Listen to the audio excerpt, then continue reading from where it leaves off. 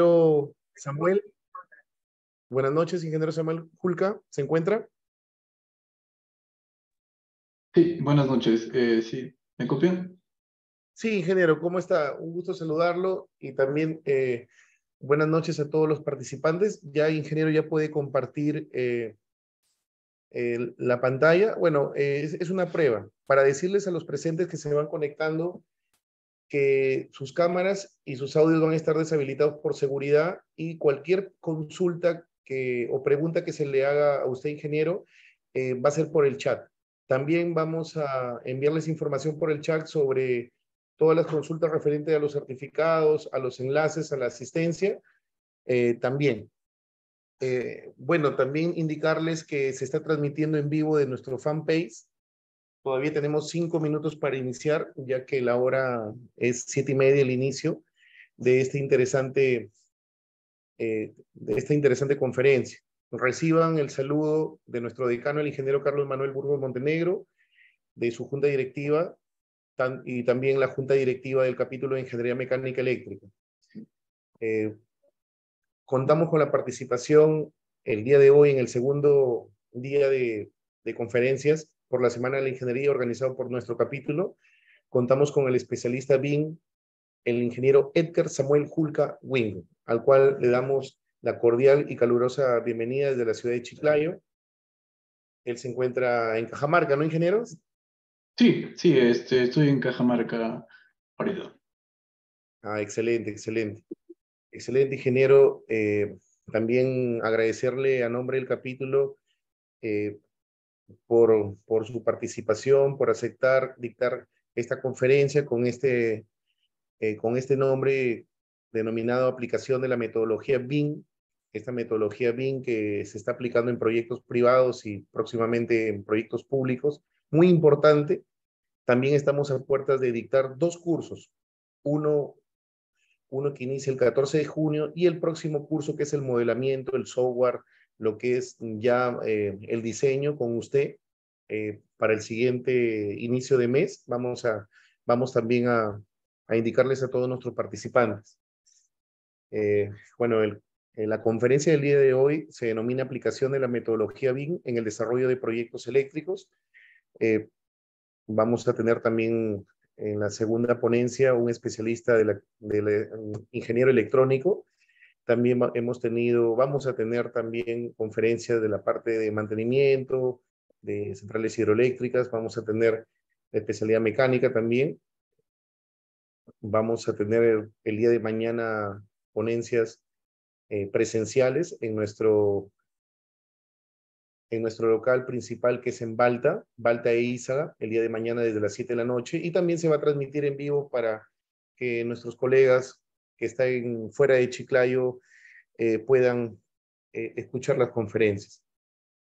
Bueno, vamos a esperar unos dos minutos para iniciar, ingeniero. Bueno, mientras sigo compartiendo el enlace, un minuto y estamos iniciando. Sí, su audio eh, está, está conforme, si ha podido compartir eh, la pantalla y lo escuchamos eh, bien.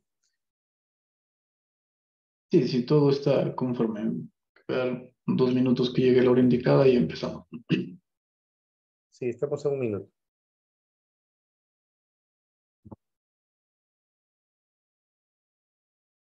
Buenas noches a todos los participantes que se vienen que se vienen conectando. Estamos compartiendo el enlace. Agradecerles, por favor, que compartan el enlace eh, a sus colegas, a sus compañeros de universidad y público interesado.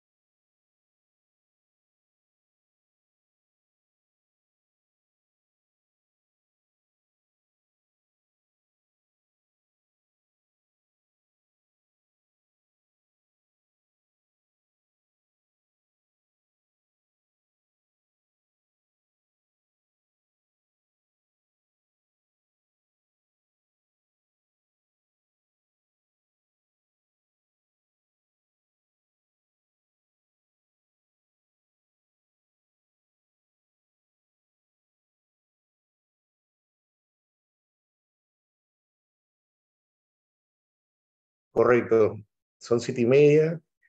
Vamos a dar el inicio a la conferencia del día de hoy. Buenas noches a todos los presentes. Buenas noches, eh, ingeniero Edward Samuel Julca Wingo, que es nuestro ponente del día de hoy. Reciba la cordial bienvenida de nuestro Consejo Departamental de Lambayeque, en especial de nuestro capítulo de Ingeniería Mecánica Eléctrica. Eh, en la Semana de Ingeniería por el 61 aniversario de la creación del Colegio de Ingenieros.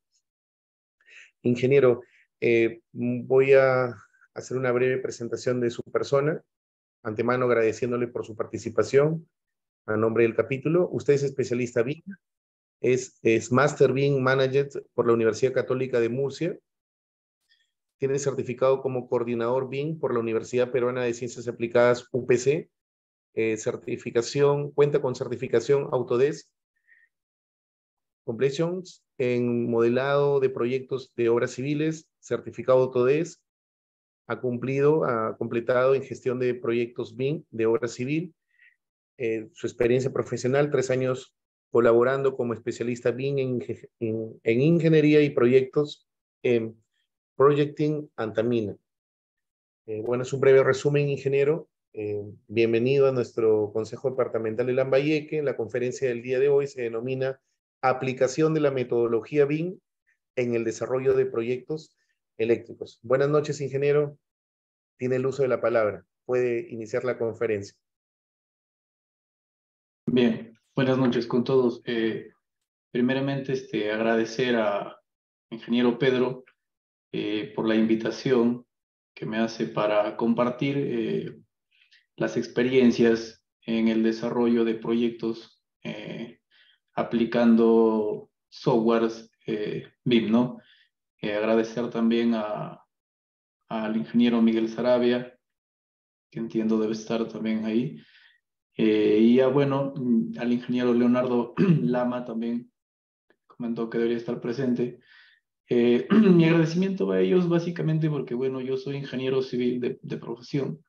Sin embargo, en el desarrollo de, de proyectos, pues este, me he involucrado bastante en la parte eléctrica y eh, siempre he trabajado de la mano con ellos y por mi parte, pues este, siempre capacitándome y estudiando en todo lo que es la, la metodología BIM, ¿no?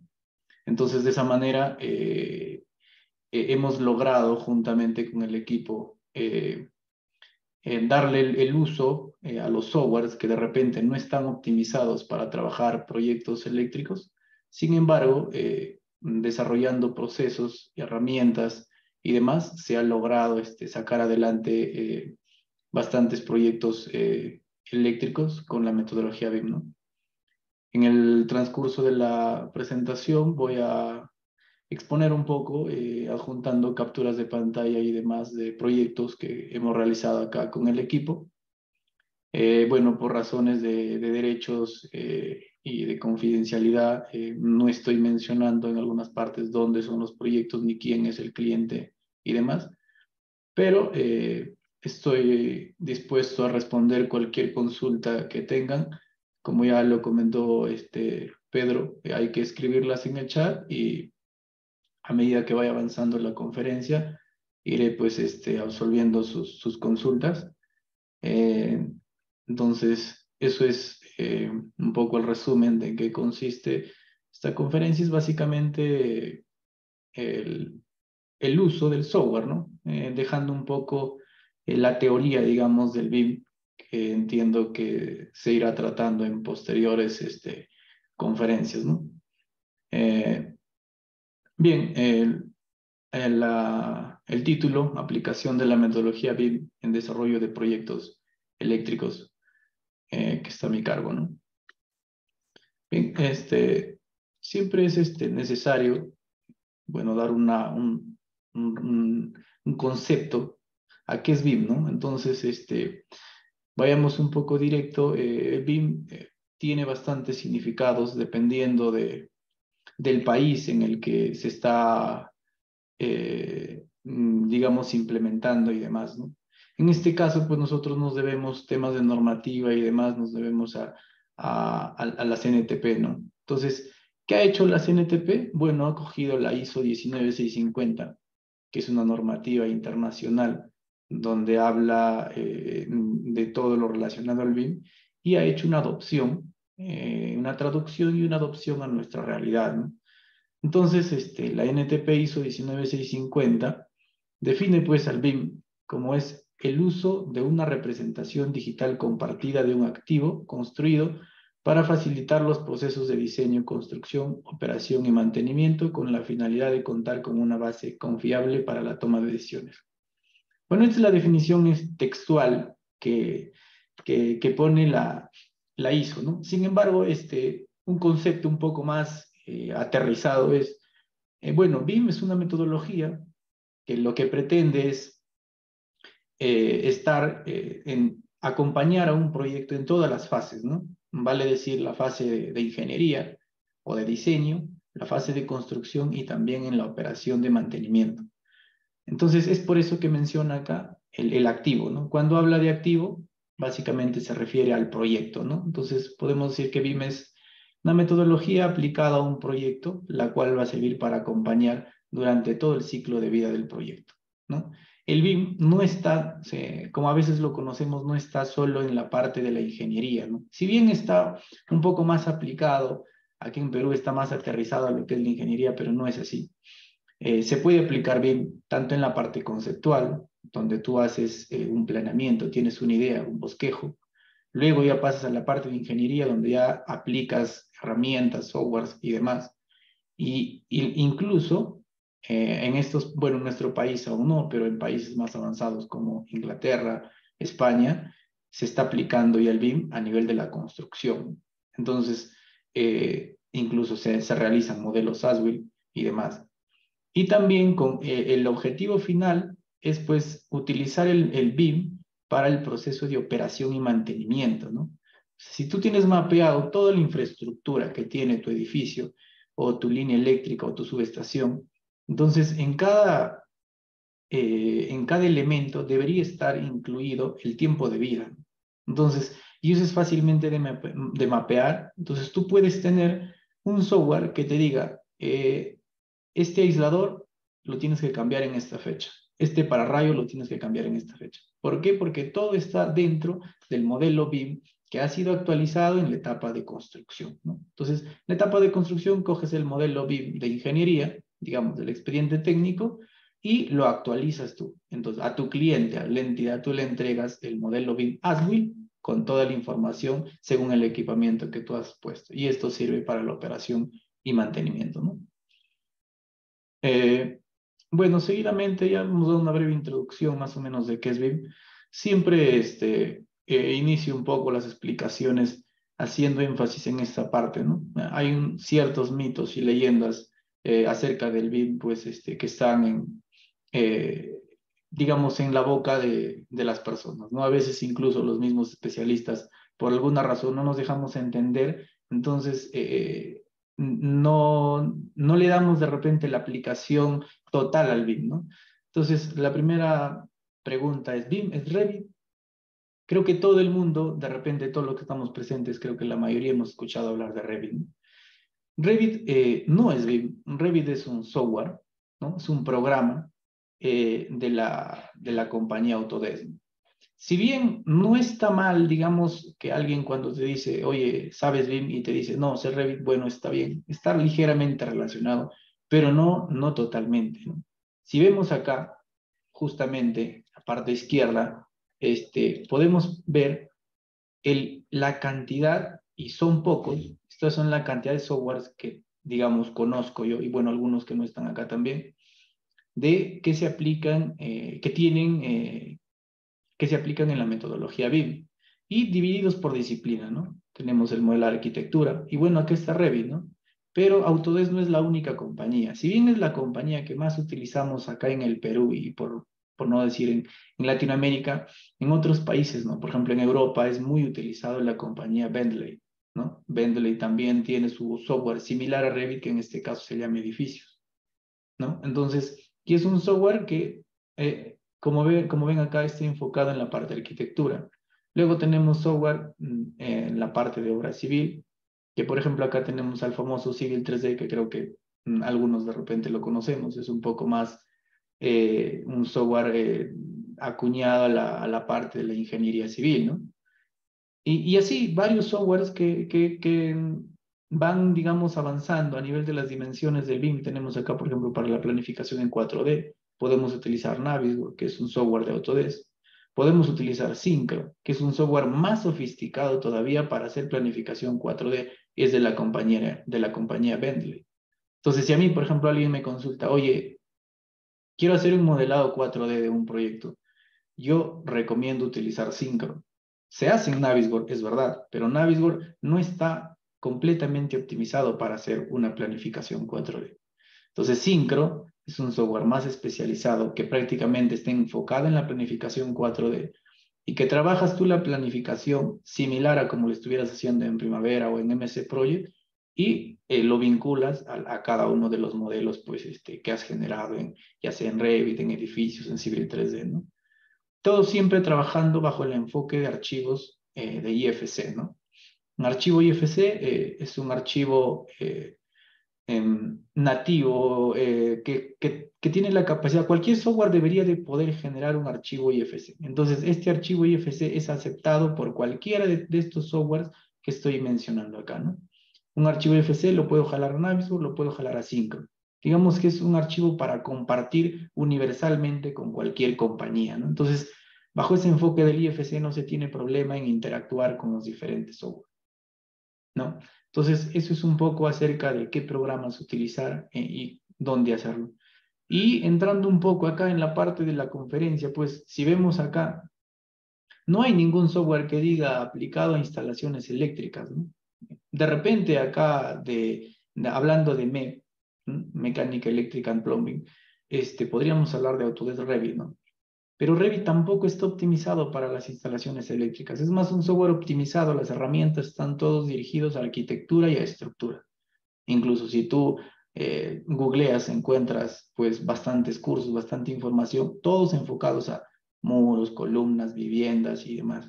Pero no encuentras a eh, alguien que diga, oye, este, he hecho una, un aislador, ¿no? He hecho un pararrayos. Entonces, eh, lo que pretendo es ¿Qué, es lo que podemos hacer? No? Bueno, cojo la parte de, de algún software de arquitectura y cojo las herramientas necesarias para utilizarlo en proyectos eléctricos. Lo mismo con el de obra civil y demás, ¿no? Entonces, de esa manera podemos este, gestionar los diferentes software, ¿no? Entonces, es un primer mito. Otro mito que, bueno, siempre se tiene presente es BIM es solo para edificaciones.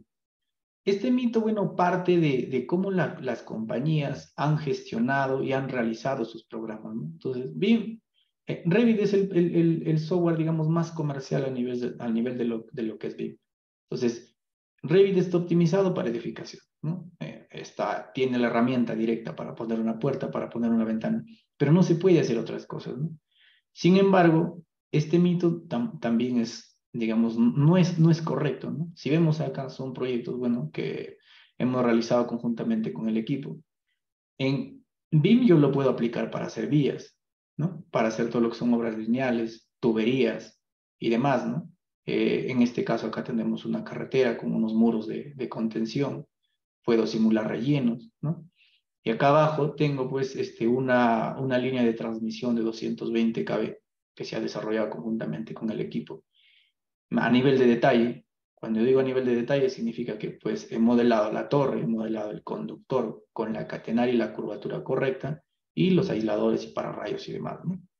Y bueno, acá tengo un puente, que es un poco más a la parte civil. Entonces, con esto que estoy dando a entender, pues que el BIM se puede aplicar a cualquier tipo de proyecto, de cualquier disciplina y de cualquier magnitud, ¿no? No, no necesariamente solo a parte civil.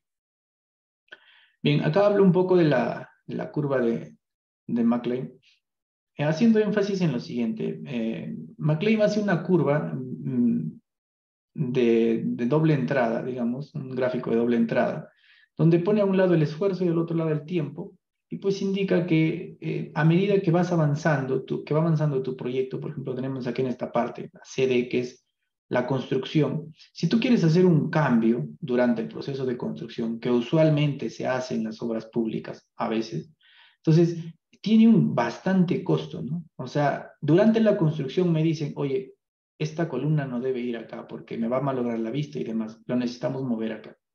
Entonces, eso es un costo elevado. Entonces, ¿qué pretendemos aplicando la metodología BIM? Que todos estos cambios necesarios y demás se hagan en una etapa temprana del proyecto. Entonces, en la etapa de conceptualización o en la etapa de diseño. ¿no? Entonces, al, al ingeniero que está diseñando tu edificio le dice, oye, esta columna no me gusta, quiero que la pongas acá. Bueno, está bien, ¿no? Invertirá pues horas hombre y modificará los planos y demás, pero no va a haber problemas de construcción, materiales y demás. Entonces es un poco el enfoque que pretende dar esta, esta, esta curva de, de McLean, ¿no? Bien, y esto es un gráfico similar, sin embargo acá em, más este, está enfocado a la parte de la transmisión de la información, ¿no? Si vemos aquí en la etapa de, de planeamiento, eh, se pierde la información, ¿no? Por ejemplo, acá tengo la etapa de diseño, le doy a un consultor, y luego viene otro consultor a hacer la etapa de, de construcción, se pierde la información, ¿no? Porque porque yo mi plano lo entiendo, pero probablemente el que va a construir no lo entiende y eso que genera RFIs. Y los RFIs es tiempo, ¿no? Y nosotros en ingeniería lo que necesitamos es optimizar tiempos, porque eso nos da eficiencia. Entonces, mientras menos pérdida de información haya, va a ser mejor el desarrollo del proyecto. Y en eso se enfoca la ISO 19650, ¿no? En la transferencia eficiente y efectiva de la información entre los involucrados durante todas las etapas del proyecto, ¿no? Entonces, por decir, ahora, ¿qué hacen las entidades? No? Me dan los planos ASBIS del hospital y bueno, me lo dan impreso y está, yo lo guardo en un archivador, ¿no?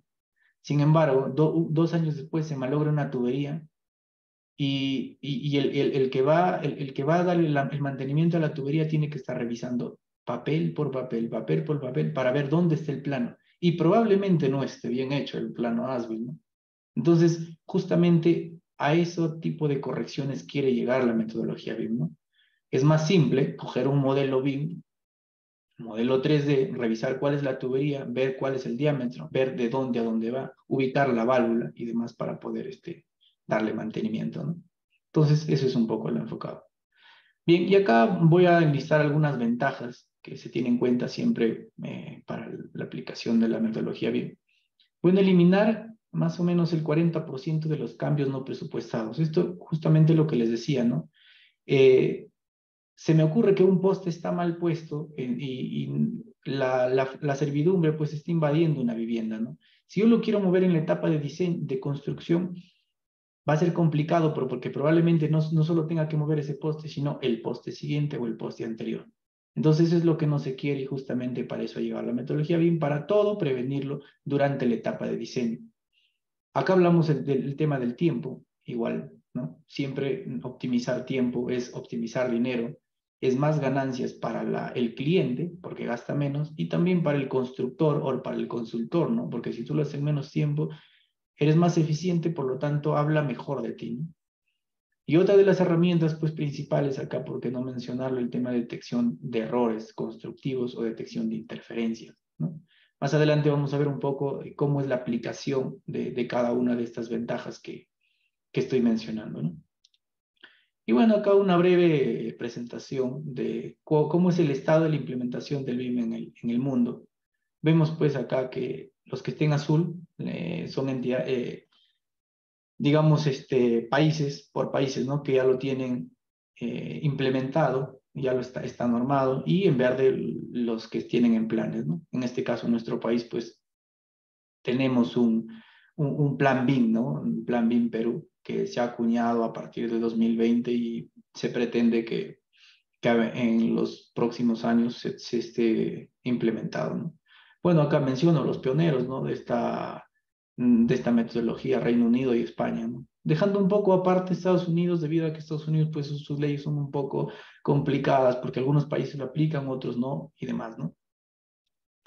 Y bueno, acá un poco este, haciendo énfasis en cómo ha sido el recorrido del Plan BIM Perú, ¿no? A partir de 2020, donde se empieza a armar el equipo y todas las, las leyes y decretos que se ha dado a lo largo de este tiempo, ¿no? Finalmente, pues, ¿cuál es la meta, no? La meta eh, del país es que para el 2025 debería estar ya implementado totalmente a nivel del Poder Ejecutivo, ¿no? Vale decir, los ministerios, todas las obras que se trabajan, provías eh, y demás, deberían ya estar todo implementado la metodología BIM, ¿no? Eh, actualmente yo estoy colaborando como consultor externo, como asesor externo para un consultor que desarrolla proyectos para este, concesionarias ¿no? eléctricas, Enosa, eh, Hidrandina y demás. ¿no? Y veo que, por ejemplo, aquí en Perú, eh, mm, si revisaron toda la introducción que, hice, es que el BIM no está optimizado para la parte eléctrica. Sin embargo, de verdad yo felicitar a, a Enosa, Hidrandina y demás por las ganas y el énfasis que le están poniendo en aplicar la metodología BIM en sus proyectos. ¿no? Ellos han visto de repente el, el enfoque de decir, oye, esto nos va a dar buenos resultados, nos va a servir para nuestro mantenimiento, hay que hacerlo, ¿no? Entonces, se han puesto las pilas, digamos, y lo han implementado. Y creo que es una de las pocas instituciones que está un poco avanzando en este tema, creo que están algo de dos años y por ahí. Entonces, al final, eso es lo que va a pasar con todas las entidades. ¿no? Algunos antes, otros después, pero al final se pretende, según el plan BIM, que todas las entidades lleguen. ¿Y cuál es la meta? Bueno, en julio del 2030 Debería estar implementado el BIM en todo el sector público, a nivel de municipalidades, provinciales y distritales, gobiernos regionales y también todo lo que es eh, del Poder Ejecutivo, ¿no? Vale decir los ministerios. Bien, bueno, sobre una, una, breve introducción de más o menos de cómo ha sido el tema del, BIM. Ahora, este, ya en la parte de la aplicación del software, ¿no? Tenemos acá todos los software y bueno, yo voy a hablar básicamente de estos programas que son los que yo este, utilizo, algunos, ¿no? Mm, utilizo otros más que de repente no los estoy mencionando acá. Y bueno, acá un poco las, qué es lo que se puede hacer con cada uno de ellos, ¿no? Bien, primero vamos a partir de, cómo es el levantamiento de las condiciones existentes, ¿no? De el levantamiento topográfico, que mm, clásicamente lo llamamos. Tenemos dos caminos. Uno, realizarlo con un drone, que es lo que tengo acá a la izquierda, o realizarlo con un escáner LiDAR, ¿no? Un escáner LiDAR similar a un, eh, es como una estación total. El objetivo es el siguiente, obtener una nube de puntos. De las dos maneras lo puedo hacer, ¿no? Va a depender de qué tipo de proyecto estoy desarrollando y de esa manera voy a ver qué tipo de, de equipo utilizo. Y bueno, acá ya vemos el tema del procesamiento, ¿no? Vengo acá, el procesamiento pues de, las imágenes del drone lo, lo haré en, en of Metashape o en Pix4D, ¿no? Una vez que tengo yo este levantamiento, ya sea hecho con drone o con LiDAR, en este caso un levantamiento hecho con LiDAR, ya lo puedo referenciar directamente a Revit, ¿no? Entonces, de esta manera yo puedo combinar la condición existente con la condición proyectada. Tengo una bandeja ahí, ¿no? De tuberías y yo quiero proyectar una nueva bandeja.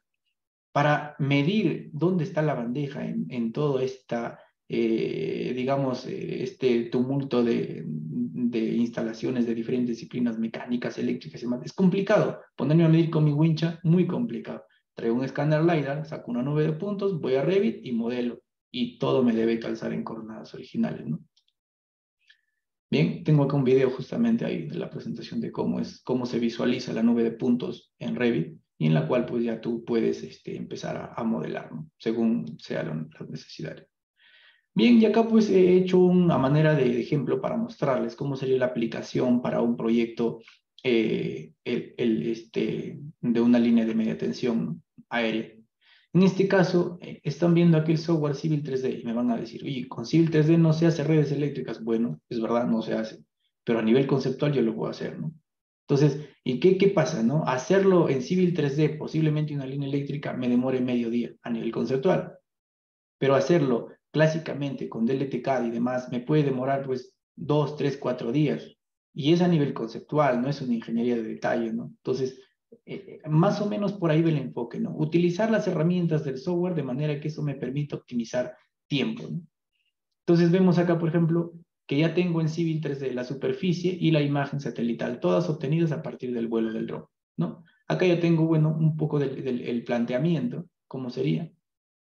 Del, del, nuevo recorrido, en este caso estoy haciendo un cambio de alineamiento de una línea. Y acá a la derecha tengo un, un perfil, una planimetría, ¿no? todo realizado en Civil 3D, ¿no? Entonces, ¿qué tengo acá? Tengo la progresiva, tengo el ángulo de, de desvío del vano, tengo la, la, longitud de vano y demás. Entonces, ¿esto para qué me sirve? Para ver dónde ubico mis torres, ¿no? Dónde ubico mi, mis postes. Ustedes como especialistas pues ya conocen, ¿no? Un vano eh, siempre eh, el ingeniero agarra y dice, oye, ¿sabes qué? Necesitamos que los vanos sean menores de 80 metros. Bueno, y está, todo eso lo hago en Civil 3D. Listo, garantizo que los vanos sean menores de 80 metros y lo único que hago es a partir de ahí exportar mis, eh, mi, mi, mis puntos, ¿no? Y listo, veo acá. Y todo es dinámico, ¿no? En planta, yo voy a mover acá mi alineamiento, voy a hacer un cambio de torre, se me ocurre porque la servidumbre está impactando a una vivienda entonces yo lo muevo la torre y automáticamente el perfil también se va a tener que actualizar porque todo es dinámico. Entonces, todo lo estoy haciendo en Civil 3D, que es un software BIM, ¿no? Entonces, a partir de acá yo puedo ir generando, eh, ir, avanzando en el modelo, ¿no? Esta es una etapa conceptual, luego pasaré a una, a una ingeniería de detalle, o como lo conocemos, digamos, este sería el perfil, y lo otro sería, pues, el desarrollo del expediente técnico. Y como ven, todo es dinámico, ¿no? Al final, eh, todo se ajusta, muevo la torre, y a la derecha en el perfil también se va a mover. Entonces, esto me da facilidad de, de, tomar decisiones rápidas, ¿no? Porque esto no, esto no, no demora. Y, y, como vemos abajo, bueno, está los vanos, está el ángulo y demás, todo, este, y todo obviamente georreferenciado, todo en coordenadas este, originales, ¿no? Entonces, eh, eh, ¿cuál es el objetivo? Bueno, validar altura libre de conductores, validar servidumbre y, y demás, ¿no? Y al final, ¿cuál es el, el, el, el, digamos, el, qué es lo que yo saco de Civil 3D? Bueno, saco mis puntos de ruta, y mis puntos de ubicación de torres, todo en coronados originales con elevaciones y demás. Eso yo le paso al ingeniero, eh, al, al, calculista, bueno, abre el deletecado, abre el red light y listo, y me hace una corrida, ¿no? Pero ya con la seguridad de que va a cumplir, simplemente hace una verificación, ¿no? Finalmente, pues aquí estoy presentando, por ejemplo, este es un plano a nivel conceptual, todo realizado en Civil 3D, ¿no? Y bueno, acá lo único que se hace, pues añadir una nota donde indicas que la curvatura es referencial, ¿no? No, no, es, no se ha calculado. Entonces, eso es básicamente lo que se puede hacer, por ejemplo, ¿no? Es uno de los ejemplos de que se puede hacer el trabajo en Civil 3D, que es un software BIM. De repente no lo conocen muchos ustedes porque, claro, está optimizado para carreteras, para superficies, para plataformas, que es un trabajo más de un ingeniero civil. Pero como han visto en este proceso, ¿no? Yo puedo sacar un plano a nivel conceptual y presentarlo con todos los componentes que tiene una planimetría de un archivo del ETCAD. Todo realizado en Civil 3D. ¿Qué hago acá? Optimizo, ¿no? Tiempo. Listo, ya está yo sé dónde ubicar los postes, yo sé dónde ubicar las torres, de tal manera que me da, eh, digamos, ya la, la garantía de que no se va a mover nada y ya le paso al calculista nada más para que me haga el cálculo y con eso obtener mi, mi, cálculo final de conductores, árbol de cargas y demás, ¿no? Entonces, eso es un poco la, aplicación, en este caso, de Civil 3D a lo que sería el desarrollo de este tipo de proyectos. Bien, acá, bueno, ya un poco pasando a la parte de Revit, que es uno de los software más utilizados, como comentaba. Tenemos acá, pues, por ejemplo, eh, el, desarrollo de unas instalaciones eléctricas en baja tensión de un campamento, en este caso, Entonces, siempre lo que yo donde hago énfasis es en lo siguiente, ¿no? Siempre trabajar todo georreferenciado. ¿A qué voy con esto? que todo debe estar en coordenadas originales y elevaciones originales, ¿no? Para no tener problemas. Yo cuando hago mis planos necesito que yo ponga una cota. Esta cota está puesta toda en Revit. Y, y las coordenadas son coordenadas UTM. Tengo acá la cota de elevación puesta en Revit. Es una familia de Revit de cota. No está hecho a mano. ¿Y qué me da? Eh, la elevación, metros sobre el nivel del mar. Todo en coordenadas originales, ¿no? Entonces, a partir de acá, eh, Revit, como les comentaba, pues está optimizado para edificaciones, no puedo poner puertas, ventanas y demás. Pero yo qué hago? Cojo las herramientas necesarias y las optimizo para hacer proyectos eléctricos, ¿no? En este caso, por ejemplo, acá tenemos una subestación, que bueno, no, no es nada del otro mundo, porque una subestación es al fin y al cabo una edificación, solo que en vez de que haya una puerta, bueno, hay un transformador, ¿no? Que es una estructura un poco más complicada, es verdad. Pues acá tengo dos caminos, ¿no? El transformador lo puedo modelar yo con mi equipo o el vendor que ya me, cotiza la subestación, hay varios vendos que ya te dan el modelo. Entonces te dicen, oye, toma mi, mi, cotización, está acá, este es el precio, este es el tiempo que lo voy a hacer y acá está mi modelo BIM. Y te pasan el modelo en IFC. Entonces el modelo IFC ya tiene todas las propiedades. Yo hago clic en la familia del transformador y me da, pues, ¿no? Nivel de tensión, de llegada, nivel de tensión de salida, número de devanados, eh, la capacidad, 500 kVA, ¿no? Cosas así. Entonces, toda esa información ya está puesta acá. Me, da incluso el volumen de aceite, ¿no? En este caso es un transformador sumergido en aceite. Entonces, para yo, de acuerdo a eso, ya eh, ir desarrollando la ingeniería. Entonces, ese tipo, por ejemplo, de cosas ya es, depende del, del, del, del, del que te vende, el vendor, ¿no? En este caso, por ejemplo, eh, se me ocurre, ¿no? En instalaciones sanitarias, Pavco, tú entras a la página de, de y descargas todas sus tuberías, sus válvulas y demás. Entonces, ¿qué es lo que eso te permite? Yo cojo en mi modelo y pongo un transformador que me ha vendido Dimatic, por ejemplo, ¿no? Entonces, ¿eso qué significa? Que cuando vengan a construir, oye, encuentran el Dimatic y mira, calza justamente con este espacio, ah, no, ¿qué hago? Entonces le tengo que comprar a Dimatic, ¿no?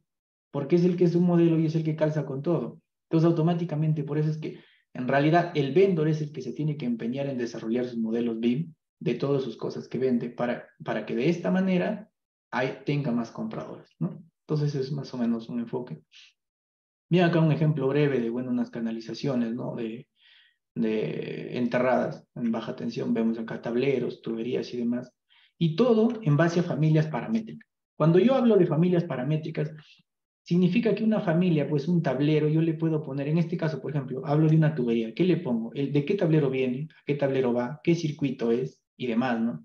Entonces esto me ayuda rápidamente a elaborar mis planos, ¿no? Y para no, no tener confusiones, ¿no? Entonces todo está parametrizado. ¿Para qué me ayudan estos parámetros? Para filtrar, parametrar, ¿no? Yo puedo hacer una tabla de planificación de materiales y digo, necesito eh, cuántos tubos pertenecen al circuito 4 y está. Y, en Revit hago una tabla de planificación y automáticamente lo saca. ¿Todo por qué? Porque está con familias paramétricas. Entonces, es muy importante que al momento de hacer las familias, no hacer un bloque, pues, ¿no? Porque si yo hago un cuadrado o hago un cuadrado que digo que es un tablero, pero no tiene cuánto es el voltaje, ¿no? Cuánto es el espacio, de, qué tipo de rielding eh, este, acepta, cuántas llaves puede instalar ahí. Entonces, entonces no, no me sirve, ¿no?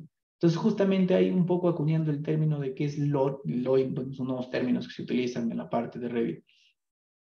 Tengo que tener yo el modelo 3D y con información alfanumérica. Entonces, que tenga información textual para poder eso y utilizarlo más adelante en, en, en, en, mi desarrollo de mis planos o cómputo de materiales. Y justamente vemos acá, pues, ¿no? Un plano hecho íntegramente de un Revit ya listo para presentar, donde está etiquetado todas las eh, los tableros, las tuberías y demás. Ahora, ¿qué implica esto? Que si por alguna razón, pues yo manejo un tag de un tablero, ¿no? Eh, es un tablero, el número 5, por decir, ¿no? Y luego eh, llega el, supervisor y me dice, oye, ¿sabes qué? No es el número 5, es el número 7. Entonces yo lo único que hago es selecciono el modelo, lo cambio de tag y automáticamente se cambian todos los planos en todas las vistas. ¿no? Entonces, eso es un poco lo que te da la, facilidad de cuando trabajas con una familia paramétrica, ¿no? En esta parte, bueno, tenemos un cómputo de materiales que, como les decía, en este caso está separado por tipo de material. Tengo tuberías de RGS, PVC y, y HDP, ¿no? ¿Y esto para qué me permite? Para hacer mi metrado y de repente adelantarme, eh, hacer un proceso incluso de fast track, ir comprando materiales aunque no se termine el, expediente porque ya tengo la seguridad de que todo está bien, todo calza, ¿no? Bueno, acá tengo un poco la, unas vistas de la aplicación a la parte de redes de alta tensión. ¿No? Tenemos acá una torre donde se ha modelado pues la cadena de aisladores. Y como ven, ¿cuál es el parámetro acá? Tengo el ángulo. ¿Cuál es el ángulo? Es el ángulo de llegada de los conductores. Entonces, de esa manera yo lo modelo todo en eh, cómo está, como me bota el, el software del ETK o Redline, entonces eh, yo eh, con esto tengo la seguridad de que todo está bien, no puedo sacar un plano de esta torre y tengo la seguridad de que está todo en coordenadas originales, todo con dimensiones eh, correctas y demás, ¿no? Y bueno, acá vemos ya pues la integración con los conductores y demás, una foto un poco más, más alejada, ¿no? Bien, acá, eh, como les decía, esta es un poco la familia del, de la cadena de aisladores y acá el parámetro, el ángulo, ¿no? ¿Qué, ¿Cuál es la inclinación que tiene? Bueno, y está en grados. Entonces digo, ¿qué hago? En Revit ingreso este ángulo que ya me da la planilla de estructuras elaborada en, en DLTCAD o en. Bien, Ahora, para la ubicación, ¿no? Para, para la ubicación de los postes o de las torres, ¿cómo yo las ubico en Revit? Eh, entonces, ¿qué hago? Utilizo mis puntos que yo tenía de Civil 3D, los exporto eh, en, un, en un archivo CAD, donde está todo en coordenadas originales, tiene cota coordenada y tiene elevación y voy ubicando mis postes. Entonces, cuando yo haga la coordinación de mi modelo total, tengo la seguridad de que mi poste esté ubicado en la coordenada exacta y en la cota exacta y no voy a tener ningún problema, ¿no? Entonces, acá vemos cómo se relaciona, pues, este Civil 3D con, con Revit, ¿no? Todo trabajando en coordenadas originales, siempre, ¿no? Bien, bueno, acá un poco la, la utilización de las familias paramétricas, en este caso hay una familia paramétrica de, unas, eh, de unos pedestales y stubs de, unas torres de línea de 220 y acá el modelado del conductor, todo cumpliendo con la curvatura de DLTCAD, ¿no? En alguna oportunidad he visto unos modelos ahí que trabajan este, los, los compañeros, las concesionarias, que el conductor lo hacen pues con una, con una tubería flexible, ¿no? Que es una herramienta que tiene Revit. No está mal, ¿no? Pero, eh, oye, en, en, vez de presentar yo una curvatura, pues, este, que no se ajusta a la realidad, porque cuando tú haces una tubería este, flexible, la curvatura pues te sale algo así, ¿no? Entonces, esta curvatura no, no, no es real, ¿no? O sea, no, no, no está bien. Entonces, preferible, ¿qué hago? Mejor le pongo una línea. Entonces, eso para mí es un nivel, lo, lo 200, ¿no? Entonces, yo le digo, mire, esta es la línea. El que lo va a revisar va a entender que no tiene la curvatura porque todavía estoy en un desarrollo de un perfil. Cuando ya le hago el expediente, bueno, le tengo que dar la curvatura exacta para que me pueda servir para yo poder determinar distancias de seguridad y demás. Ahora, ¿cómo hago esta curvatura exacta? Bueno, tengo una familia paramétrica que lo hemos hecho acá con el equipo, que la cual eh, a través de, puntos lo ubicas y te, te, cuadra todo tal cual. Entonces eso me sirve a mí para poder hacer corridas de, de distancias de seguridad y, y demás. Bien, eh, hasta ahí un poco todo lo, cómo es la aplicación en, en Revit de, de esta parte de, del VIP, ¿no? Voy a ir avanzando en otros softwares que suelo utilizar y al final vamos a ver cómo se, combinan todos estos programas generando pues un modelo federal. En este caso eh, tengo acá eh, un levantamiento justamente de la línea que les mostré al inicio, que en este caso estoy utilizando Infraworks. ¿no? Infraworks es un software que eh, te ayuda bastante en la parte conceptual. O sea, en la parte, oye, necesito saber cómo va la línea, ¿no? Eh, y para la tarde, listo, bueno, me meto al infraworks y puedo hacer un recorrido, una línea de mantención en una hora, ¿no? Dos horas. Entonces, este es suficiente para yo poder hacer una reunión con el equipo, decidir, tomar alternativas y ya con esas conclusiones, es decir, lo llevamos por este lugar, lo llevamos por este lugar, ya me puedo ir a, a gabinete y empezar a modelar en Revit en Civil 3D, que ya es un software más especializado, ¿no? En este caso, pues, y como comentaba, todo siempre en coordenadas originales. Ahí no vas a tener ningún problema si tú trabajas todo en coordenadas originales. Pero acá, bueno, estaba ahí todo en UTM, WG84, zona 17S. En este caso, una zona en Cajamarca que lo he utilizado para un ejemplo. ¿no? Entonces, ¿qué hago acá? Bueno, como han visto, pues combino el modelo, todo lo que he levantado con drone y me sale la superficie combinada con el terreno. Entonces ya no necesito ir a la zona incluso al supervisor no necesito llevarlo a la zona para que conozca, porque ya con esto le puedo presentar todo. Y bueno, acá un poco utilizando Infraworld, lo que les decía para la parte conceptual, ¿no? Tengo ahí proyectadas las torres con sus coordenadas originales, cada una de ellas. Eh, y en rojo lo que sería la servidumbre, ¿no? Entonces, eh, es una línea de 23 kb, estoy simulando, serían 5.5 metros a cada lado según el Código Nacional de Electricidad. Y me sirve para ver, ¿no? Oye, está pasando la servidumbre por esta vivienda. Entonces, ¿qué hacemos? ¿Movemos la torre o, o, movemos la vivienda, ¿no? Entonces, eh, de esta manera te sirve, pues, este tipo de herramientas, ¿no? Y todo esto se hace en infra y se hace rápido. O sea, no, no necesito estar haciendo, demorándome uno o dos días. Pues esto, es eh, muy rápido, por, por, eso les comentaba ese a nivel eh, conceptual, ¿no? Bien. Y bueno, acá ya un poco este, llegando a la parte de la, de la federación, ¿no? Eh, oye, eh, necesito ya ver cómo se integra, pues, ¿no? Me, me de, un programa, de otro programa de otro programa, y, pero yo no le he visto a Revit cómo está con, con el terreno natural y no he visto cómo quedó la, el terreno, la superficie de Civil 3D. Bueno, tenemos un software acá, en este caso de Autodesk, que es este Navisworks. Es un software impresionante, de verdad, para, para lo que hace y para el, para el uso que, que le damos tiene bastantes herramientas. Y como les indicaba, bueno, yo juntamente con el equipo acá trabajando lo hemos optimizado para, para proyectos eléctricos, ¿no? Entonces, de esa manera, pues se logra combinar todos los modelos hechos en Revit, las superficies realizadas en Civil 3D y el terreno natural realizado en Infraworks, todo lo puedo visualizar en Navis. Como vemos acá, ¿qué hago? ¿No? Entonces yo jalo todos mis modelos, ven acá, punto .rbt, este es un archivo que ha venido de Revit, tengo acá un punto FBX, este es un modelo que ha venido de Infraworld. Luego tengo acá un DWG que ha venido de Civil 3D. Entonces, de esta manera, yo los relaciono todos en un solo software, que es en este caso Navisworks, que es un software para hacer este, coordinación de, de modelos. ¿no? Entonces, ¿qué me, ¿para qué me sirve Navisworks? Una de las herramientas ¿no? que hago, detección de interferencias. ¿no? Eh, justamente esto acá es eh, una advertencia que le hicimos a la entidad que estábamos realizando este proyecto y eh, solicitaban pues no que la distancia de los cables al terreno eh, sea pues de, de, 10 metros, ¿no? ¿Y qué pasaba, no? El, el, consultor que había hecho la ingeniería, en este caso nosotros solo hicimos el modelo, había cogido los puntos del alineamiento del eje de la línea y había pues insertado en DLTK, le salía la, del perfil, la planimetría y todas las distancias superaban los 10 metros, porque bueno, se dibuja el perfil de la distancia de seguridad, ¿no? Sin embargo, ¿qué pasa? No? Esto es viéndolo si es que la, la línea fuera pues una línea en planta, ¿no? Valga la redundancia. Sin embargo, como sabemos, esto no es así, porque acá tengo doble terna, ¿no? Una terna a la derecha y a la izquierda, entonces eso me genera que no es una línea, sino ya más parece un cubo, ¿no? Un sólido. Entonces, ¿qué hacemos? No? Nosotros ubicamos los cables a un lado, ubicamos los cables al otro lado, y hago una corrida, ¿no? Para detectar una, una interferencia. Entonces yo en Navisworks lo programo y le digo, avísame cuando la distancia sea menor a 10 metros.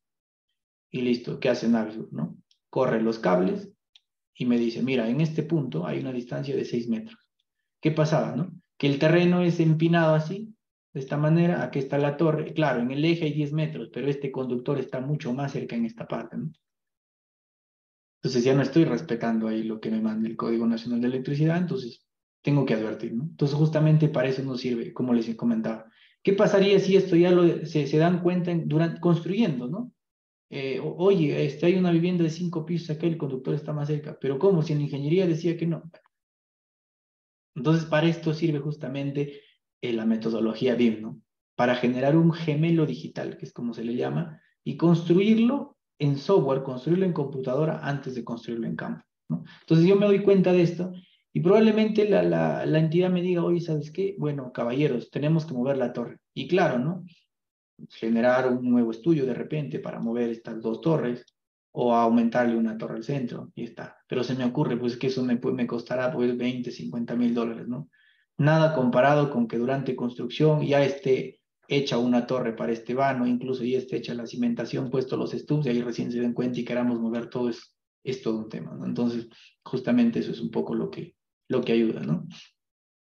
Eh, bueno, acá viendo este, la, la parte de la, de la programación, ¿no? Eh, Navisworks, como les comentaba, no es un software recomendado para hacer programación 4D, sin embargo, en esta oportunidad, por ejemplo, lo hemos realizado, ¿no? 5 es un poco más especialista, pero en este caso les voy a mostrar más o menos cómo interactúa este Navisworks, ¿no? Vemos acá, en la parte inferior, vemos un cronograma, incluso un diagrama de Gantt, que puedes importarlo de MC Project o de Primavera, y en la parte superior podemos ver el modelo cómo se va construyendo. ¿no? Entonces, esto aquí me ayuda para hacerle una presentación al cliente y hacer una toma de decisión rápida. ¿no? Eh, bueno, está bien, está mal, oye, no, mira, esta torre se está demorando mucho, los cables y demás para ver el tema de procura. ¿no? Entonces, eh, de esa manera se hace. ¿no? ¿Qué haces? Bueno, vinculas el cronograma de MS Project o de Primavera con los modelos obtenidos de, de Revit o de Civil 3D y juntos generas la planificación 4D. Pues, ¿no? Eh, en este caso, otra herramienta que tiene Navisworks es la posibilidad de realizar metrados. Eh, yo tengo una línea de 2 kilómetros, eh, de, de, 20 kilómetros se me ocurre, pues probablemente ya no lo pueda contar las torres. ¿no? Hacerlo en Excel probablemente sea fácil o no, pero cuando tú haces algo manual siempre estás expuesto al error humano. Y, hay bastante, en bastantes proyectos que me he cruzado, siempre hay errores, ¿por qué? Por error humano, ¿no? Oye, en vez de poner más 5, le pusiste más 2 y está, se malogró todo el metrado, probablemente se malogró un cálculo. Entonces, justamente para eso es lo que te ayuda el software, para que todo sea automatizado, ¿no? Y tú no has hecho ningún cálculo manual, sin embargo, que ya sabes, ya sabes que acá, que hay una cadena de aisladores de suspensión, ¿cuántos hay? 108.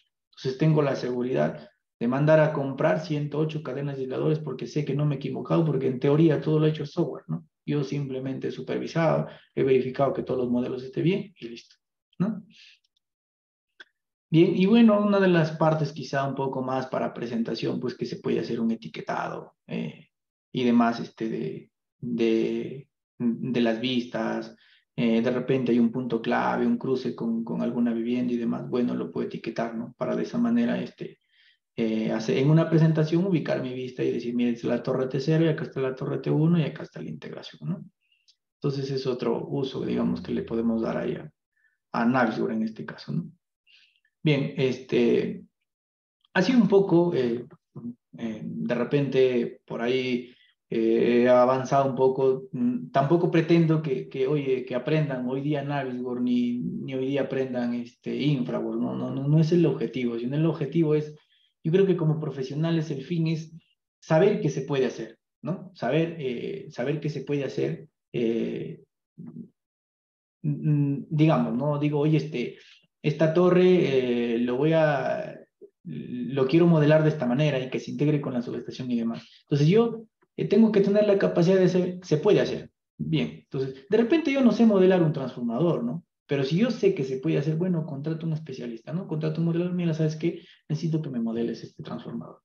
Entonces, ese es el objetivo, ¿no? Nosotros como proyectistas, de repente de, ingeniería, que en este caso, bueno, todo está enfocado a la parte de ingeniería, saber qué se puede hacer, ¿no? Ahora, el cómo lo hago, bueno, ahí sí ya, pues depende de ti, ¿no? O bien te capacitas, lo haces tú, o formas tu equipo, o llamas a un especialista que te capacite, ¿no? O, o un proyecto piloto y demás, ¿no? Entonces, justamente, eh, en esta parte, pues, este, eh, un poco este, he realizado un, eh, un macro, digamos, de, oye, ¿y ¿qué hago yo para implementar BIM en mi empresa? ¿no? Yo soy un consultor de hidrandina y me están pidiendo pues, que yo presente el modelo BIM y, yo no sé, ¿no? Eh, yo sé calcular, sé hacer mi, mi análisis de máxima demanda y demás, pero hidrandina me ha pedido el modelo BIM y yo no lo sé hacer, entonces, ¿qué hago? Entonces, bueno, acá he hecho un pequeño resumen de qué es lo que se necesita, ¿no? Primero, bueno, necesitamos equipamiento, es verdad.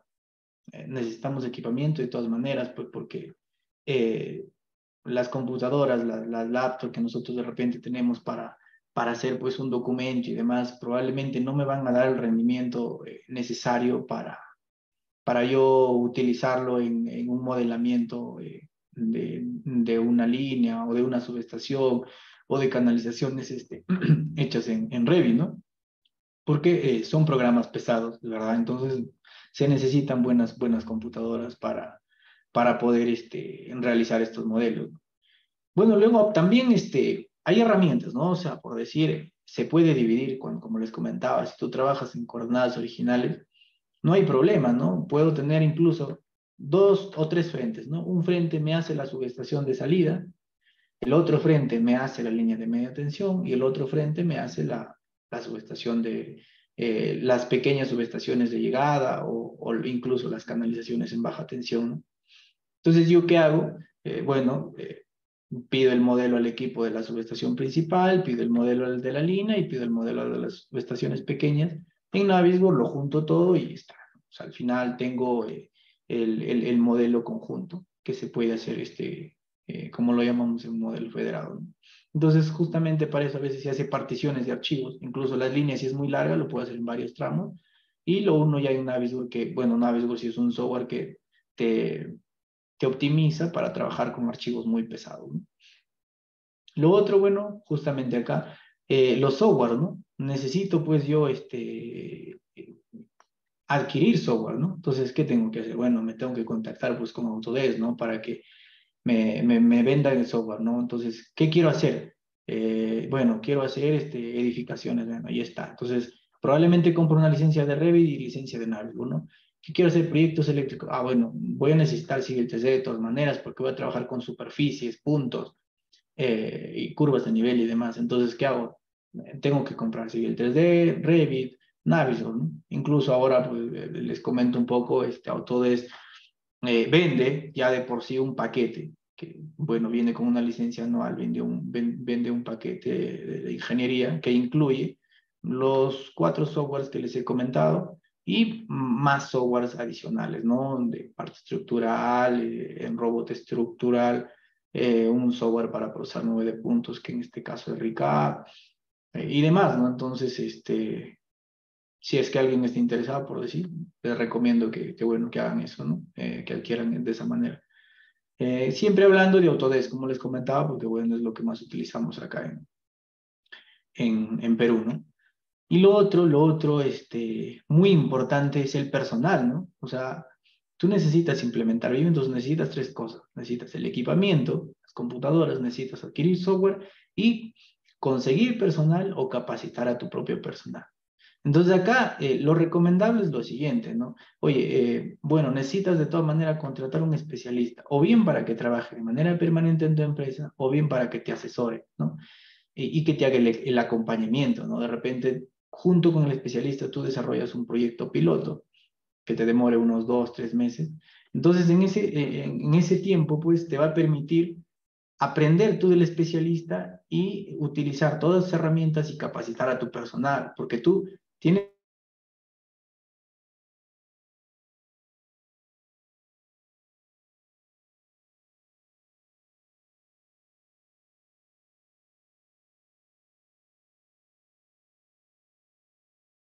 dimensiones, ya sabe cuáles son los niveles de, tensión, no tienes que enseñarle más la, la, teoría, ¿no? Pero ahí de repente tenemos un poco de, de, de falla en, digamos, en, el, en, nuestro país, pues que eh, yo llevé la especialización en la UPC en, en, BIM y bueno, de todos mis compañeros, pues mm, más o menos el 60-70% civiles, y algunos otros arquitectos. Pero bueno, no, y claro, ahora no había ningún especialista eléctrico que se haya interesado por utilizar esta metodología, ¿no? Pero eh, la necesidad pues está ahí, entonces hay que, hay que ponerle el enfoque, hay que contactarse con personas que te expliquen, que, te enseñen, y, y, eso es, ¿no? Eh, bueno, por mi parte, yo este, siempre lo que digo, yo estoy dispuesto a, compartir todo lo que sé, todo lo que he aprendido, porque algunas cosas no me lo ha enseñado nadie, probablemente algunas cosas lo he aprendido por mi cuenta, prueba y error, pero ya sé que funciona y eso yo lo puedo enseñar, ¿no? Yo creo que una de las cosas que siempre debemos hacer es no ser mezquinos con el conocimiento, ¿no? Porque el conocimiento eh, está ahí y si tú lo tienes solo para ti, probablemente no lo mejores, ¿no? En cambio, si tú le compartes a otra persona, oye, mira, eh, ¿cómo modelo este cable? y le dices, mira, con tubería flexible no, no está bien. Eh, hay que hacer esta familia y si lo hacemos con estos puntos, ya, listo, funciona, ¿no?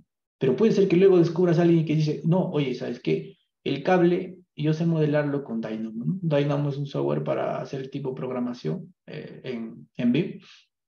Y es verdad, se puede, se puede hacer en Dynamo, que tú agarras, pones un punto en un lado en coordenadas X y Z, otro punto en otro lado, coordenadas X y Z, metes la ecuación relativa de la catenaria y está, lo dibuja el cable. Entonces es más sencillo, pero eso se aprende con el, con, el trabajo y enseñando, ¿no? Al final es así. Yo, eh, me gusta esto de, enseñar a la gente, eh, a, a los compañeros de trabajo y demás. No les niego para nada el conocimiento porque siempre digo, oye, todo está escrito, ya todo está creado, yo no, lo he, yo no lo he creado este programa, yo no lo he creado esta herramienta. Lo que yo sé probablemente lo saben 100 personas más en, nuestro país o, un montón de personas en el mundo. Y si no les enseño yo, alguien más les va a enseñar y queda mal, ¿no? Entonces, ese es un poco el, el, enfoque que yo le doy a esta parte de la, de la academia y, bueno, como comentaba, agradecer ahí a, Pedro, a, Miguel por haberme contactado y bueno, espero, bueno, ha sido una conferencia creo que un poco corta, ya está finalizando. Siento que incluso que me ha, me ha faltado el tiempo, creo que al final he corrido un poco porque no me había percatado del tiempo, pero espero que les ayuda, haya este, ayudado un poco, sobre todo, como les digo, no que se aprendan el software, sino que aprendan qué se puede hacer, ¿no? Eh, bien explicado un poco el proyecto aplicado más a líneas de media tensión, pero eso no quita para nada las herramientas de aplicar a baja tensión, a temas de subestaciones y demás, porque se puede modelar, todo se puede hacer, ¿no? O sea, tengo una valle de una subestación, bueno, lo puedo hacer siempre, eh, se puede. Ahora, ¿quién lo hace? Bueno, ahí sí, pues, ¿no? Tienes que buscar de repente el personal o capacitarte tú y demás, pero se puede. Entonces, ¿de qué se puede? Se puede, ¿no? Entonces, este, eso es un poco lo que, eh, lo, lo, que he preparado, digamos, para, eh, eh,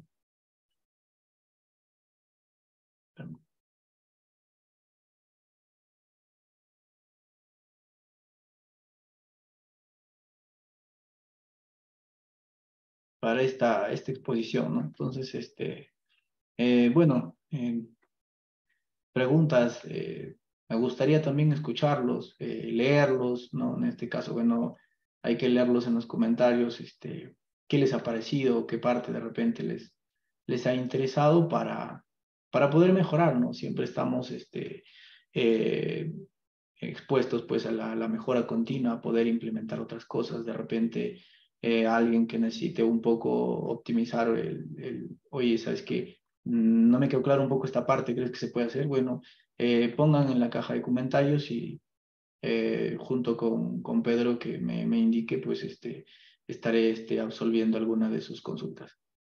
Eh, bien, ingeniero Pedro, este... Ingeniero. No sé, o algo más de repente. O... Sí, ingeniero. Justo en esta parte, bueno, agradecerle a todos los que se han venido conectando y agradecerle a usted por esta brillante conferencia. lo más interesante es indicarles a todos los colegas e, e interesados en lo que es eh, proyectos, obras eléctricas, electromecánicas. Eh, nosotros como capítulo vamos a contar con su persona para dictar eh, varios módulos de la metodología bien aplicado a, instalaciones electromecánicas, ¿no? Redes de media tensión, redes de baja tensión, transmisión, ya que usted está elaborando en, en, en un área directamente que modela, ¿no? Los, los proyectos eh, en, en, este ámbito. Y justo a todos los presentes eh, hay una pregunta que dice, ¿hay alguna entidad que enseña la metodología bien enfocado al, rubro eléctrico?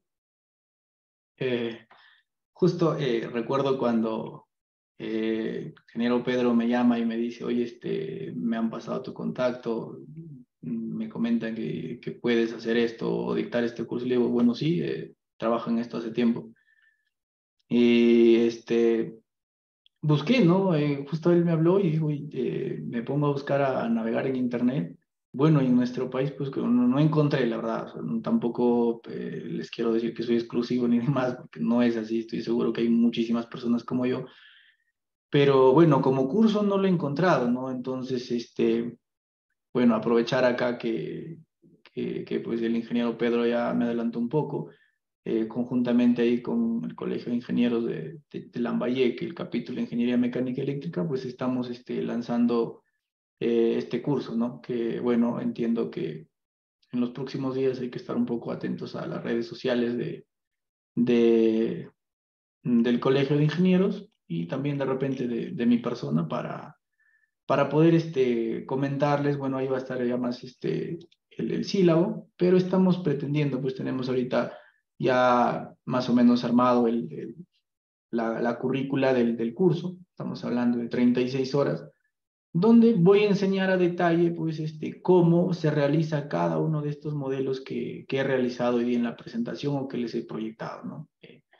vamos a, a influir en, todos los softwares que he mencionado, porque es importante que lo sepan, ¿no? Eh, de repente hay algunas personas que es la primera vez que escuchan que se puede hacer este, partes de las líneas de media en Civil 3D, ¿no? Y probablemente nunca lo han hecho o, de repente sí, pero es necesario que lo conozcan, ¿no? La idea, como indicaba siempre, es este, pues, optimizar el, el uso de los softwares en, proyectos, ¿no? Eso sería alguna otra consulta de repente.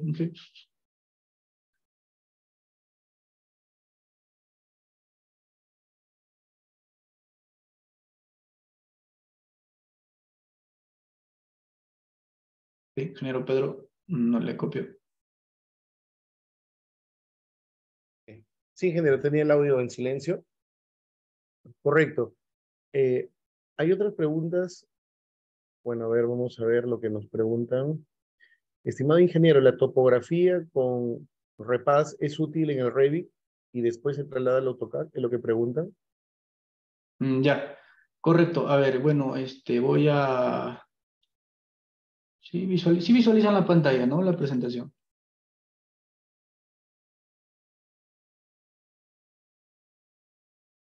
Sí, se visualiza.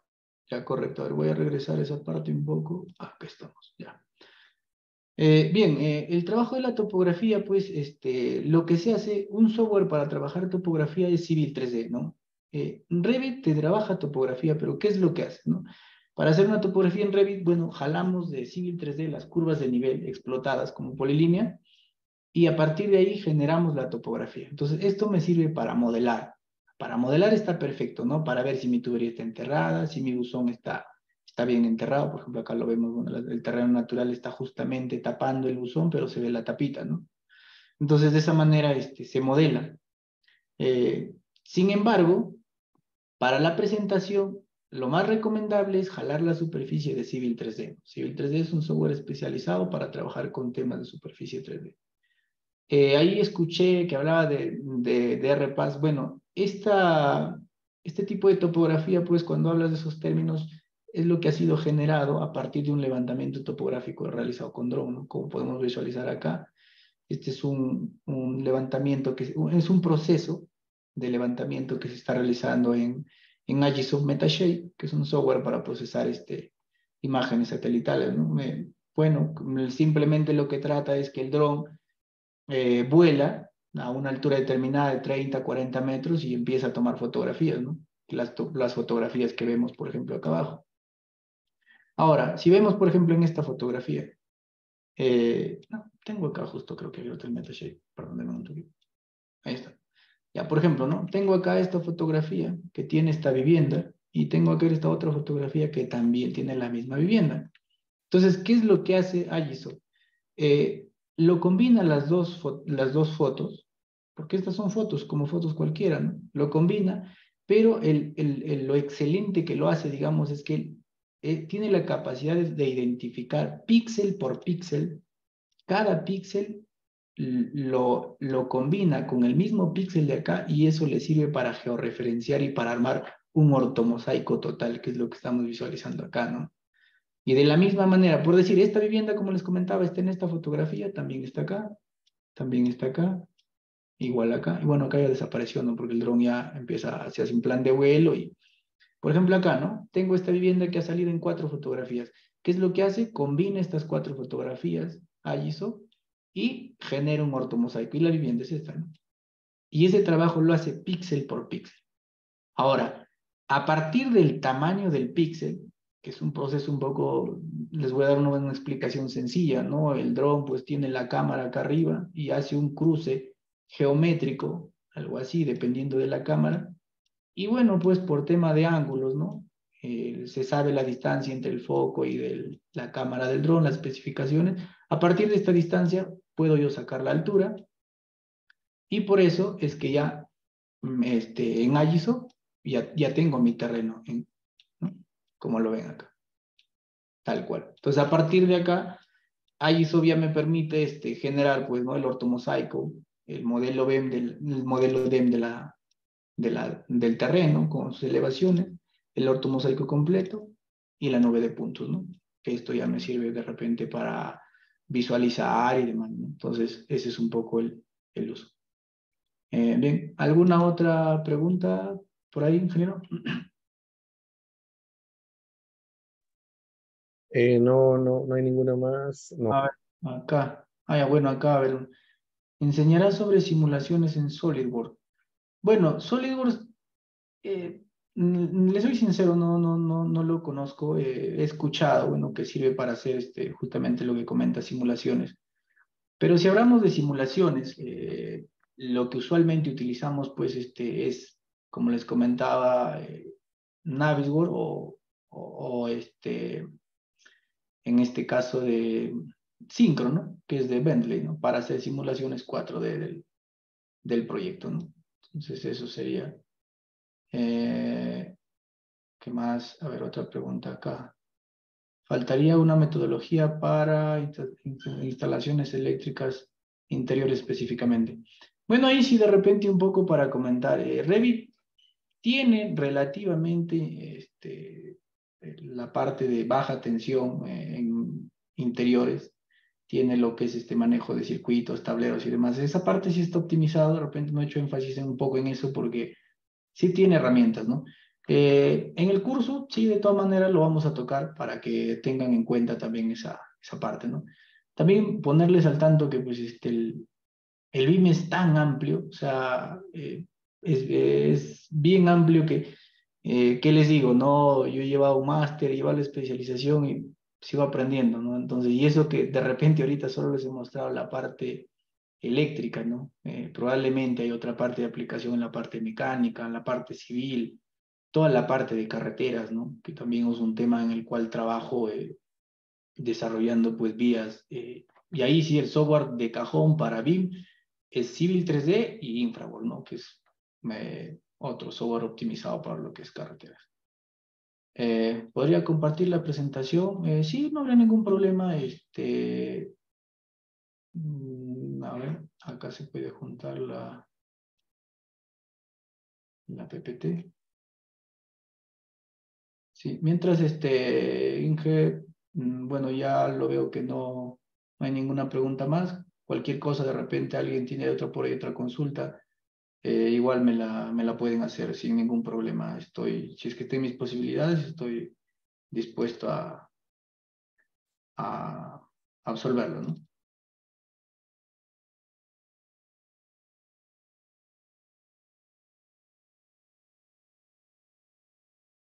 Ingeniero, muchas gracias. Eh, bueno, con todos los presentes, eh, esta charla se ha dictado con el ingeniero Samuel. Eh, nosotros como capítulo también al ingeniero Samuel Julca va a ser nuestro segundo ponente del curso BIN. nosotros estamos por iniciar un curso BIN y está en la, en la página de Facebook, pero el ingeniero netamente nos va a enseñar a modelar, ¿no? A ver, vamos a... Nosotros tenemos, este es un primer módulo, con el ingeniero vamos a tener el segundo módulo acabando este, eh, para que no, no confundirlos. Este es, una, este es un, un curso de la gestión e implementación BIM en el sector electricidad. Netamente el ingeniero José eh, Carlos Díaz eh, Valdivia, que es ingeniero mecánico electricista, también tiene un certificado como BIM Manager por la UPC. El, ingeniero nos va, ah, bueno, en ocho sesiones de tres horas, eh, nos va a detallar sobre la metodología, la parte legislativa, por qué es importante esta metodología y se está implementando. Y en una segunda, y este curso empieza el 14 de junio, está en nuestra página de Facebook, y el ingeniero lo que nos ha detallado es que en, en un segundo módulo que va a iniciar la primera semana de julio o, fines de, de, junio, dependiendo de la programación que ya debe estar la siguiente semana, el ingeniero nos va a enseñar más que todo a modelar un proyecto eléctrico con el uso de los software que mencionó, ¿no? Como el Revit, y netamente es práctico. Entonces, este es un segundo módulo. De darse un tercer módulo, vamos a contar con los ingenieros, pero ya en, el tema de modelar. Si bien es cierto, es importante que los proyectos a nivel eh, de ingeniería, en este caso en la parte eléctrica, por ejemplo, el año pasado tuvimos también de interiores, eh, veo algunas preguntas, es amplio dependiendo la aplicación, ¿no? Eh, hay ingenieros que están en redes eléctricas de media y baja tensión, un módulo se va a enfocar en ellos, otro módulo se va a enfocar en lo que es interiores, como es el caso del, del BIM aplicado a instalaciones MEP. Y lo que vamos a hacer es implementar ¿no? con los especialistas en BIM que se han certificado, han estudiado, eh, no en el Perú, porque este software prácticamente eh, no se dicta inicialmente aquí, es, una, es ya de necesidad, porque hay algunas instituciones privadas, bueno, algunas públicas, que están pidiendo la, implementación de la metodología, porque es una herramienta muy importante que simplifica en el tema de supervisar y en el tema de inventariar también eh, tiene una, mucha importancia, ¿no? Con estos temas que se ven hoy día en obras públicas eh, altos de corrupción, también se, se buscan metodologías que ayuden, ¿no? A no, a no eh, incidir en esto, ¿no? Entonces, bueno, ingeniero, agradecerle por su participación. Permítame, eh, a, nombre del Colegio de Ingenieros del Perú, Consejo Departamental de Lambayeque, eh, a ver, vamos a ver, parece que... Ahí está. El Colegio de Ingenieros del Perú, Consejo Departamental de Lambayeque, emite este certificado a usted, ingeniero Ecar Samuel Fulca Wingo, por haber participado como ponente en la conferencia aplicación de la metodología BIM en el desarrollo de proyectos eléctricos, que ha sido desarrollado por el capítulo de Ingeniería Mecánica Eléctrica el día de hoy, 6 de junio, con la duración de dos horas académicas.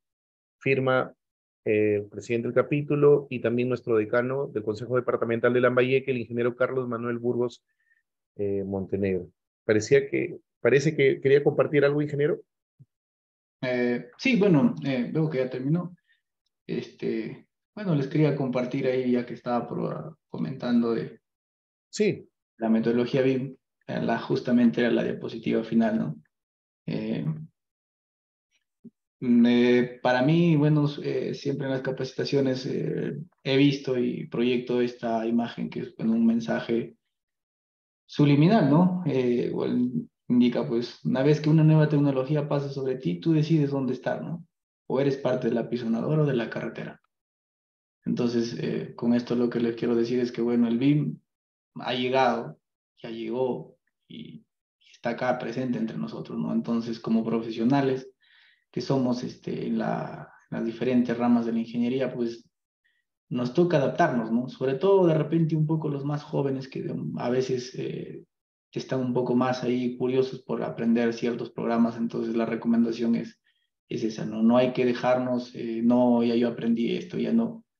No es difícil, ¿no? Requiere un poco de tiempo, dedicación y, y está, ¿no? Y aplicarlo pues en los proyectos que trabajan, ¿no? Yo lo he aprendido básicamente aplicando conjunto, trabajando con, con el equipo, eh, siempre trabajando de la mano con ingenieros eléctricos y yo poniendo la parte de la metodología BIM, entonces se ha logrado pues sacar adelante varios proyectos, ¿no? Veo acá también una pregunta, si me permite, señor Roberto, en la que indica eh, ingeniero, del modelado de Revit se puede trasladar a AutoCAD con las coordenadas después de, haber realizado los puntos geodésicos.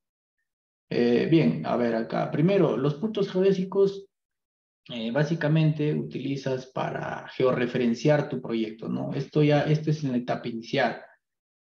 tú haces tu procesamiento en Agisoft o en Pix4D, que es otro software para realizar este procesamiento de imágenes y ahí te va a salir este, en coordenadas que es propia del, del dispositivo, del drone, ¿no? Eh, que usualmente probablemente esté desviado de la realidad más o menos 3, 5 metros, ¿no?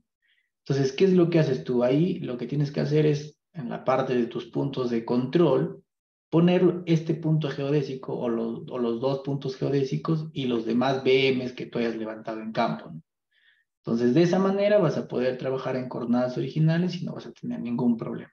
Eso es por una parte. Ahora, lo otro, eh, de trasladar el modelo de Revit a AutoCAD. Eh, sí se puede, claro que sí, eh, Revit exporta AutoCAD. Sin embargo, el, el, uso no, no lo veo necesario porque si yo ya lo tengo en Revit y en Revit voy a hacer mi presentación en planos, en teoría el plano debería estar generado en Revit. Ahora, si aún así de repente por el tema de la facilidad o, uno recién está aprendiendo, pues está adquiriendo los conocimientos y quiero perfeccionarlo mi plano en AutoCAD, sí, sí se puede, sin problema. Y obviamente sí salen coordenadas originales, nada más que al momento de exportarlo, ahí hay una opción en Revit, pues que, que tienes que darle, adquirir este, una opción ahí donde dice por coordenadas compartidas y está.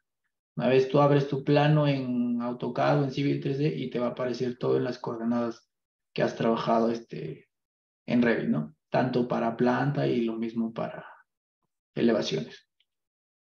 Eh, bueno, sería todo, este, ingeniero. Eh, bueno, también hay un poco compartir mis redes, mi correo, número celular, cualquier cosa, este, me pueden llamar, eh, alguna consulta puntual lo que sea, eh, estoy dispuesto a resolver si es que está a mi alcance y si no está a mi alcance, bueno, nos ponemos a, aprender y a, estudiar todos juntos, ¿no? Que al final creo que ese es el objetivo de, de, estar en la parte académica, ¿no? Sí, muchas gracias, ingeniero. Eh, bueno, eh, agradecerle por su participación. Hay una última pregunta que me escriben en el WhatsApp sobre la computadora que se debe necesitar para, para poder trabajar el curso que se va, que se va a iniciar ¿no? con usted. Eh, bien, este, digamos que no hay un parámetro establecido para ver, oye, esta computadora cumple o esta, esta no cumple, ¿no? Incluso ahora, por ejemplo, lo que hacen es este, los software de por sí, eh, en este caso, si tú entras a la página de Autodesk, de Revit, eh, ahí te, dicen, ¿no? Requerimientos mínimos de computadora, que sea, tenga un procesador Core i7 o AMD7, este, que tenga pues una memoria RAM de 8, 12 gigas, ¿no? Más o menos por ahí va la recomendación. Eh, pero si tú aún quieres trabajar con una computadora que no, que no, no cumple con estas características, lo vas a poder hacer. Pero el tema está en la eficiencia, ¿no? O sea, siempre yo cuando trabajo eh, el, empleador en este caso que, que, he tenido, que tengo, siempre le he dicho, oye, si tú quieres que yo avance más, mira, tráeme una computadora, tráeme esto, tráeme lo otro y yo te, te garantizo un 10-15% de avance. Entonces tú como empresario, si alguien te dice eso, le das, ¿no? Entonces, eh, pero si de repente uno no tiene las posibilidades, no hay problema, ¿no? Yo la laptop personal que tengo es una laptop, una i7, de, eh, de 8 de RAM. Y sí, sí, sí lo corre Revit, ¿no? A veces se cuelga, es verdad, por eso es lo que les digo, ¿no? O sea, puedes trabajar de repente cosas pequeñas, pero de repente para cosas un poco más complicadas se puede correr. Para el curso que vamos a dictar, yo creo que una i7 está bien, que tenga 8 o 12 de RAM, me parece suficiente. Y la memoria, bueno, es relativo, ¿no? Ahora, es recomendable si es que es posible que tenga pues el disco, disco sólido, ¿no? Para que un poco pueda correr mejor. Bien, este, acá en el chat también veo otra consulta. ¿Hay un software de prueba para hacer prácticas del curso? ¿O cómo se realizará? Bueno, este, sí, eh, Autodesk pues tiene todos los softwares eh, que he mencionado y demás, ¿no? Eh, los tiene en versión de prueba de 30 días es una opción. La otra opción es este, descargarlo como versión de estudiante, que te da una versión de un año, ¿no? Incluso con eso puedes utilizar BIM 360, que es una herramienta bien amplia para la parte de gestión de proyectos, para manejar los modelos, ver dónde lo guardamos y demás. Que bueno, espero que de repente en algún momento por ahí nos encontramos y, y, enseño esa parte del, del BIM, ¿no? Eh, Bien, sí, sería todo, ingeniero, no sea alguna pregunta más de repente. Sí, ingeniero, bueno, eh, se está formando un grupo, bueno, en este caso del BIM, ya tenemos casi 30 inscritos, y decirle a todos que, bueno, tanto le vamos a enviar la información qué computadora mínimo deben de tener, el, se cargará un drive con el software para que descarguen lo que se va a utilizar, no hay problema. Todo eso en coordinación con el con el ingeniero Samuel vamos a tener esas facilidades porque así como el ingeniero Samuel utiliza su máquina, los software, todo, deben de tener ustedes, ¿no? Por eso, con mayor rendimiento, el día de mañana se les va a compartir esa información a todos los interesados. Por eso, eh, todos los que quieren llevar el curso pueden eh, escribir a este WhatsApp, que es de mi persona, Pedro Reyes Tazar, el presidente del capítulo, para darles información. Eh, bueno, ingeniero, agradecerles, también indicarle que voy a compartir, a ver, vamos a compartir, eh, tenemos a nuestro segundo ponente para poderlo presentar antes de que usted